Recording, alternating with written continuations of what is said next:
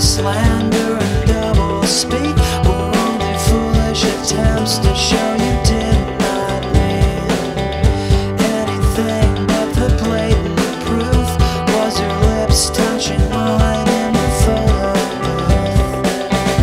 And as the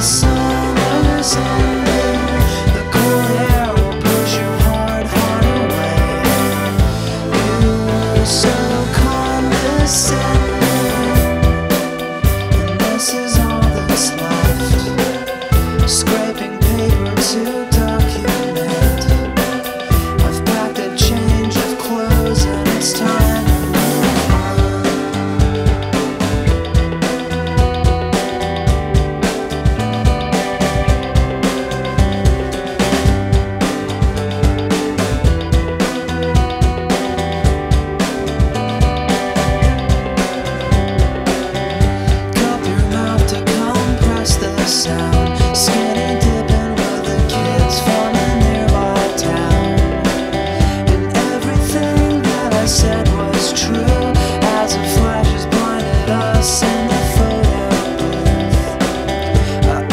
track